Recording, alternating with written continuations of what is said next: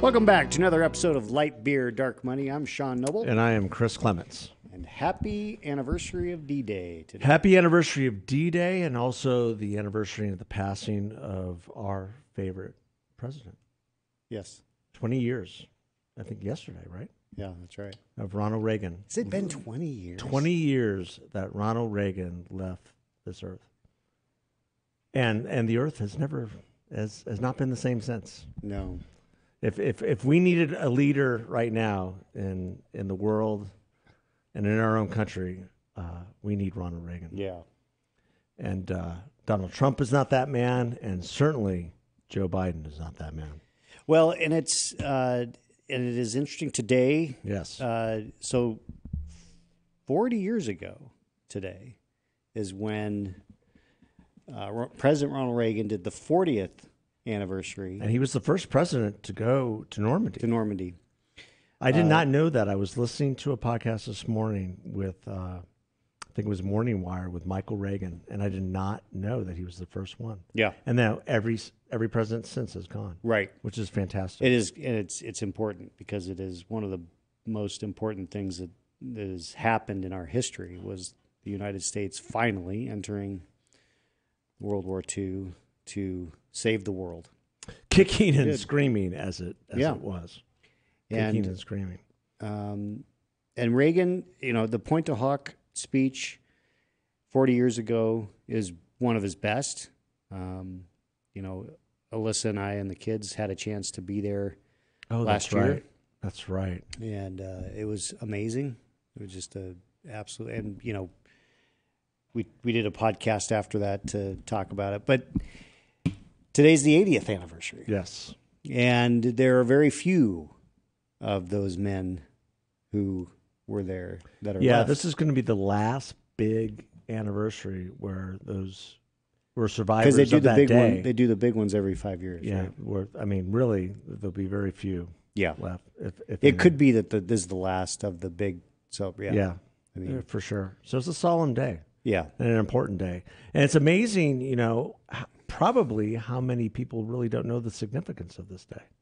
no You question. know, e- e- especially within our school systems, our failing government school systems, and even in some private schools. I mean, it's just kids don't don't get what this day meant for the survival of the human race. Yeah, literally the survival of the human race. I mean, it, it is, it, it, and it's, it really is. You know, it's not the kind of thing that that people spend much time thinking about or talking about in this day and age, and it's it's it's too bad because history is important, and it's messy, Oh yeah, and it's ugly, and it's not always great. it's always nice to look back in our 2024 lenses Yeah, and think, oh well, we are so much more civilized now. Yeah. no, not really. And it's interesting that As we I look mean, at the bloodshed in Ukraine and right Israel. the the and there is a, a, little bit of a history repeats itself uh you know going on i mean we there are elements in the united states who are taking that isolationist tack that was very prevalent with taft for Yeah. example Absolutely. um, in uh, the United States, which was, you know, I, you know, if you read anything about Winston Churchill and his effort to get the United States to engage in World War II, um, you know, he had a direct line to FDR, Franklin Delano Roosevelt, our president at the time, and Roosevelt was just clear. He's like, "Look, I got to get through the next election before we can do this." yeah. and you know it is it is fascinating to think about the politics of that era impacting the United States engagement in a world conflict and realize wow nothing's changed. Nothing has changed we are still dealing with the politics and I, I get it i understand it's important people Because human nature is human nature. yeah, and and people do question, well, why should we be involved? Why do we have to do this? And you know, if you look back, you, you look back and say, well, of course we needed to get involved to stop Hitler. And of course, we need to get involved to stop Japan. Uh, but a lot of those same people who would say that say, well, is Putin really a bad guy? Yeah. You know, I mean, it's just like, okay. Yeah, now we can have different. Hamas. Hamas really wants peace. Yeah. I mean, Hamas when they say from the river to the sea, they really are. they really just talking about going on a uh, vacation. the- no eliminating just the state of Israel. They don't mean about the slaughter of of Jews. No. that would be a bridge too far. And by the way, we we haven't seen that before, have we? oh my gosh. In the same vein. Yeah. So, so and, and, and, and, and that's the significance of this day, too. If we had not been successful on D Day, the reality, the truth of what the Nazis were doing with the six million Jews slaughtered might, might not, it would have seen the light of day someday, maybe. but, but, it would- but it it would would have have continued. Yeah. There we go, in, in, mean, it- in, in stereo.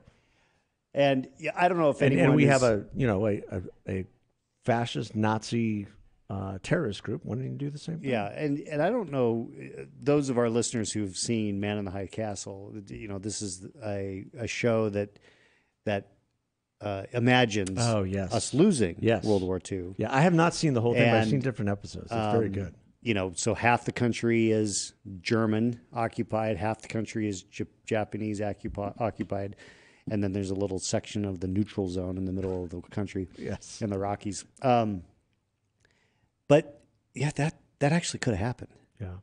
had we not. I mean, it, it, you have to give so much credit to the resilience of not only the commanders who came up with the plan for Overlord uh, and and the ability to map this out, but really, obviously, to the young men who carried it out, because young men and women. I mean, it it was No, it was just There's young so many things ca- that could- carrying it out on on D Day. well, there were women involved. Yes, in, there were women involved in the war effort, but it was much different than what we have today. yeah, And um, you know, I'm really thankful on a day like today that my dad saw it fit to make me watch all these old war movies Mm-hmm. when they came out. Like he made me watch Patton. He ma- there was a there was a great movie that I that used to be on like ABC all the time, The Big Red One, with Mark Hamill and, and Lee Marvin. And there's and there's a whole section of that movie is about D Day and it's just fascinating. And and I we, we would watch that together all the time, and I'm so thankful for that because it just gave me a taste of what that generation did for our country Yeah. and what it, what that generation did for the world. Right. And I've always had a reverence from it for it ever since. And I heard some interesting statistics this morning about that generation that what that kind of plays into what what is lacking today to your point of of the isolationist tack today and and some other societal ills. Did you know that 94% of Americans back then went to church? wow, And the vast majority in the 90 percentile of families were two parent families. yeah, yeah, yeah, yeah. And so if you want to define the greatest generation, that's that's what it was all about. I mean, And now like 45% um, of our of our society has single mothers struggling. Dads are absent. It's it's a it's a horrible thing. yeah, I mean, it's, so much has changed in the culture, um, and and that does impact It how how we live our life. And Well, how we, we, view we've the world. become much more of a self-centered, you know, egoist culture. Yeah, right. I mean, it, and that is, I, they're obviously even at the time with the folks who were opposed to entering World War II, there were clearly people who weren't. But once we did, there was a fair amount of unity. Well, I mean, sure the that- bombing of a major naval base in Hawaii would do Yeah, that to you. yeah, I mean, obviously there was a lot of fear after that, and we made some mistakes along the way, like interning, you know, tens of thousands of Japanese here in the Yeah. in America. no question. You know, just here in Arizona. like I said, you know, the history is messy. It's and, messy. and there mistakes were made. But but when you look at what the individual sacrifices were, it's pretty remarkable. Um, you know, always worth going back and watching like you said, the the movies that that depict this um, to remember the the heroism and the bravery and the sacrifice. You know, whether it be Saving Private Ryan or Oh, Band of Brothers, which was you know Band of Brothers is amazing because it's it's all true.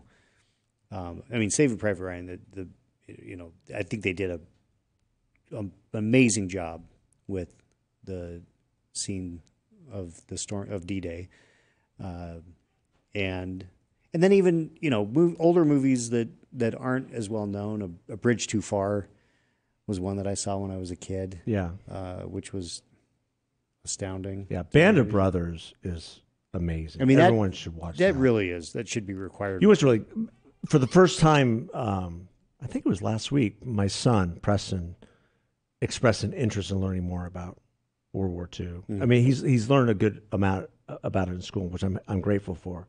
But he he said, "Can we watch Private Ryan together?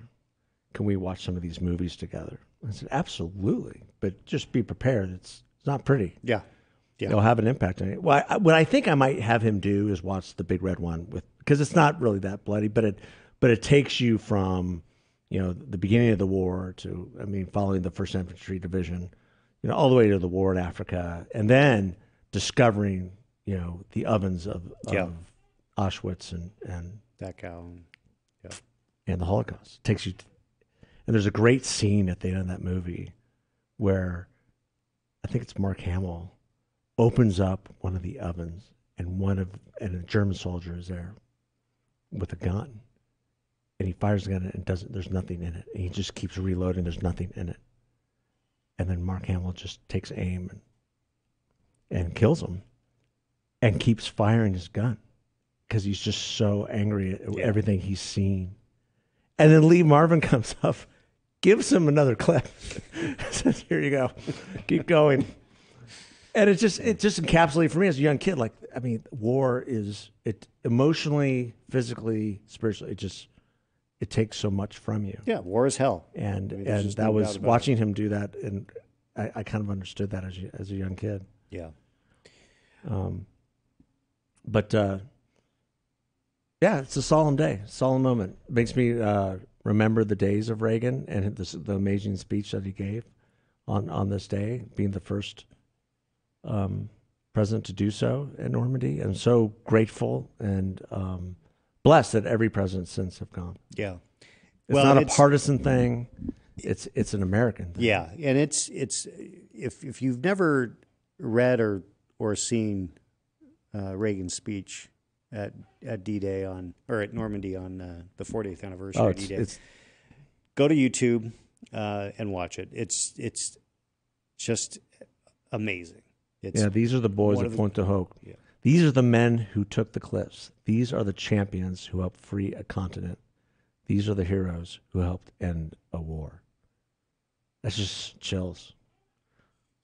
Just, you know, the, the, the entire speech, and you can go onto like Voices of Democracy and, and read speeches from all over Yeah. different eras, and and uh, it's, it's fantastic. But what was great about him doing it then was that there was still, you know, 40 years after, there were still a lot of survivors that were able to to be thanked by our president, Yeah. be thanked by the American people, and they're still thanked by the French oh yeah, every year. Yeah. It's kind of a, the running joke in America, though, too.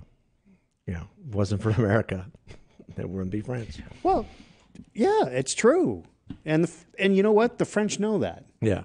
Uh, particularly the French that live in Normandy. Yeah. I mean, they they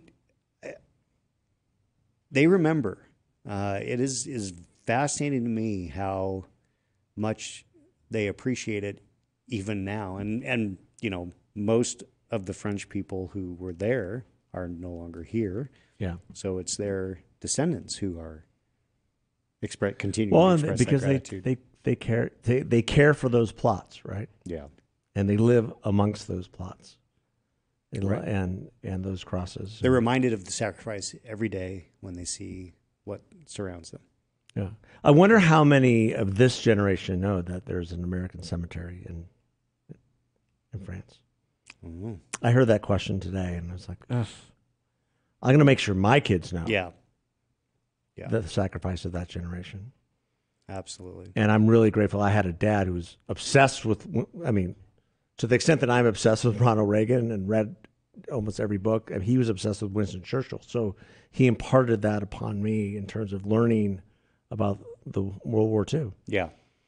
and, and making sure I understood why we were there, how it happened, and even some of the messy stuff of how we got in Right. you know the politics of it you know some people even are like well you know is it true that fdr knew that uh, the japanese were going to attack pearl harbor why was the entire fleet there and everything good questions Yeah. not not exactly bad questions Right. but uh, i think he was at the same time was desperate to get us in to um, because only america could turn the tide Yeah. and and winston churchill was definitely de- desperate to get us in Yeah. He knew it. Oh, he was knew it. I mean, after after you know the Battle of Britain and everything else, you know, yeah, Britain was holding on by a thread. Yeah. The entire continent was holding on by a thread. It was only America that turned the tide. Right. So God bless America. yeah, and and I, I just pulled up a, a quote of Patton because I, I think it's just one of the greatest quotes ever, and it just talks about the the brutality of war. Mm-hmm. You know, no bastard ever won a war by dying for his country. He won it by making the other poor dumb bastard die for his country. Yeah. That's true. But, uh, Very but true. a lot of our people did die. and continue right. to, to Yeah. sacrifice Yeah. today, Exactly. which is why you have such outrage when there's not a recognition of sacrifice. Yeah. You know, it, it, in in today's terms, and this I'm just riffing at this point. You know, um, Joe Biden had 56 percent approval rating at the beginning of his term. People were rooting for Joe Biden. They wanted to move on from the Trump era, and then something happened. 13 of our best and brightest were senselessly slaughtered in Afghanistan. And the withdrawal of Afghanistan brought a shame and despair to our military and to our country. And he's never recovered. Yeah. I mean, because Never. this stuff matters. And, and to your point about Ukraine, there's no clear path to victory or plan for Ukraine. That's the frustration you, know, you see on the right. Um, Israel, dumpster fire. We can be both pro Israel and pro Hamas. No, you can't. Yeah. It's one or the other. And and Israel just needs to make Gaza do whatever they need to do to finish it. And that's that is the horrors of war. That is the horrors of war. Well, on this 80th anniversary of D Day, we remember the sacrifices made by those great heroes. And uh, hopefully you can think about that as well. Yeah. And God bless this country. God bless Ronald Reagan, Yeah. the goat. Right. And uh, God bless you all for all, All you, right. you do every day. Yep. Thanks, everybody. Thanks for listening. Take care.